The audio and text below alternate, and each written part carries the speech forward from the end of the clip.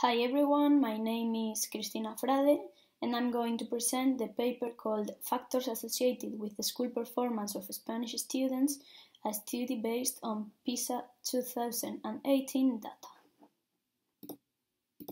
This is what we are going to talk about First of all, this thesis project is part of the research project Effective Schools for the Improvement of the System, directed by Professors Maria José Rodríguez Conde and Susana Olmos Migueláñez, and funded by the Ministry of Science and Innovation of the Government of Spain. The aim of this project is to demonstrate the difference in student performance between schools. To do so, we start by determining the factors associated with the school performance of 15 and 16 year old students based on PISA 2018 data. This thesis continues the line of research initiated in previous projects developed by the Interaction and E-Learning Research Group GRIAL of the University of Salamanca. As we said, we base this study in PISA data. PISA is a large-scale assessment test developed by the OECD, these tests are nowadays highly relevant in the field of education, with many people telling arguments in their favor but also against them. We need to clarify that we mean by academic performance and what we mean by school effectiveness. Academic performance is understood as the results obtained by students in the different assessment tests, considering different factors related to the students and their context, and uh, school effectiveness is the set of good practices carried out by the schools to achieve a higher academic performance than expected regarding their contextual characteristics. We start our research from the premise that socio-demographic context factors that have the greatest influence on performance are gender, immigration background, grade repetition, and school ownership.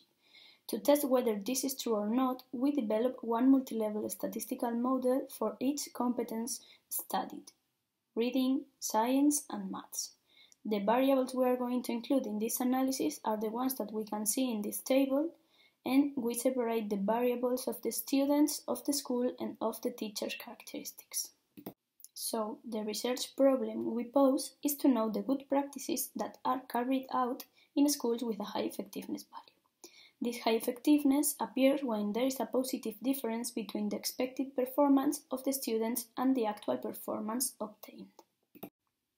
This thesis aims to generate a common framework of good educational practices related to school effectiveness.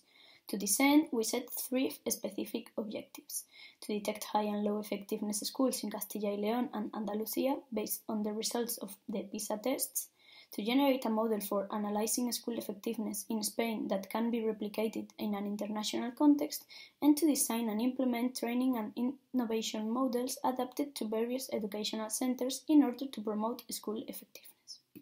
In order to achieve these objectives, we proposed a mixed approach combining quantitative and qualitative methodologies quantitative for analyzing PISA data and qualitative for analyzing interview data. Our sample is made by 976 schools, more than 34,000 students, and almost 20,000 teachers. We are not going to include in the analysis the variables with more than 20% of missing values, so we delete the percentage of teachers in the school with PhD studies. After this, we will input the missing values for schools and teachers variables, and in this table, we can see the final variables for developing the statistical models. These are the variables of the models for each competence. Each model explains a certain percentage of the difference in performance at the school level, and as we see, many variables are common to all the models, looking at the student level, that 5, and looking at the school level, the 2 we can see here. After developing the multi-level models, we select high and low effectiveness schools by using the residuals, and we obtain the next results. In this case, we obtain 184 high effectiveness schools in Spain, 202 low effectiveness schools. In Castilla y León, there are 20 high effectiveness and 6 low effectiveness schools, and in Andalusia, we have 8 high effectiveness and 11 low effectiveness schools. We are now starting the qualitative phase and almost finishing the quantitative one. This research work is funded through the project FSA's Effective Schools for the Improvement of the Systems. This project is funded by the Ministry of Economy and Competitiveness, co-financed with ERDF funds, and the work is carried out under a grant for predoctoral contracts for the training of doctors funded by the Ministry of Science and Innovation. Finally, it should be noted that this doctoral research is carried out in the University of Salamanca PhD program on education in the knowledge society. Thank you very much.